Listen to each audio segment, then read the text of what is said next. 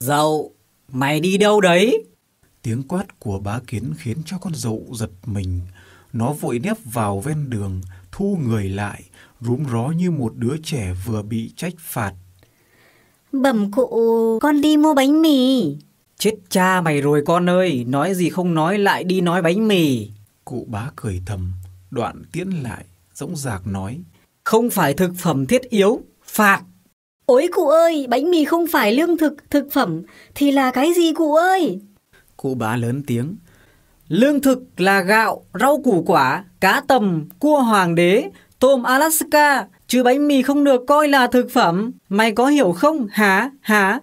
Mày ở trên núi mới ra à? Cụ bá ruồn rập ném vào mặt nó những câu hỏi khiến con dậu tối tăm mặt mũi. Nó ngơ ngác vẫn chưa hiểu ý cụ bá cho lắm. Vì người bình thường ai lại hỏi câu như cụ bao giờ. Phải không ờ, tụi bay? Cụ hất hàm hỏi lính lệ. Gã lính lệ tái mắt, lắc đầu nhẹ nhẹ khiến cụ bá trột dạ. Cụ cũng thấy hình như hơi sai sai, bèn hằng giọng chữa lại. À, bầu tôm cua cá bình thường là được rồi. Không cần hoàng đế hay Alaska cũng được. Hey, mà có thấy công văn trên tỉnh nhắc lương thực thực phẩm có bánh mì đâu. Cụ cương quyết khẳng định. Tên lính lệ tiến lại, nhắc khéo con dậu. Nhà chị dại thế. Sao chị không bảo là đi mua gạo, cá, thịt gì đấy? Hay như là con nở, nó bảo là nó đi mua ba con sâu đấy. Có bị phạt đâu, chả thiết yếu quá đi chứ lại. Chị dậu đột nhiên òa khóc nức nở, chị run rẩy móc từ lưng quần ra mấy hào lẻ, chìa ra trước mặt vừa nói vừa khóc. Khốn nạn thân con, con chỉ còn vài hào lẻ, đi mua mấy cái bánh mì chống đói thôi. Con khai đi mua gạo, thịt cá, các cụ lại đè con ra phạt thêm tội khai báo không thành khẩn thì chết con. Còn ba con sâu, vợ chồng con đói quá, sức đâu mà dùng cái của nợ đó cơ chứ.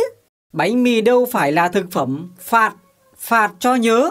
Tiếng cụ bá kiến vang lên chua chát, con dậu vừa khóc vừa rối rít thưa. Con nhớ rồi cụ ơi, bánh mì không phải là lương thực, không phải là thực phẩm. Con chưa rồi, chưa rồi cụ ơi, chưa rồi cụ ơi.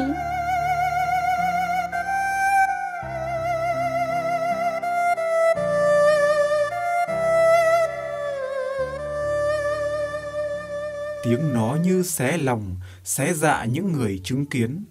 Người ta lấm lét nhìn nhau, rồi chẳng ai bảo ai. Họ tự thầm nhủ trong đầu cho đến khi thuộc lòng câu nói trên của con dậu. Bánh mì không phải là thực phẩm, bánh mì không phải là thực phẩm.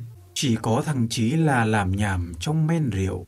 DM, bánh mì không phải là thực phẩm, thì nó là cái DM gì hả rơi? Cụ bá bị con dậu cái cũng cay lắm. Thế nào cũng về search Google câu bánh mì có phải là lương thực thực phẩm không? DM hiểu sau vụ này, cụ bá có còn mặt mũi nào về gặp vợ con, gia đình, bạn bè và đồng nghiệp không? Bố nhà cụ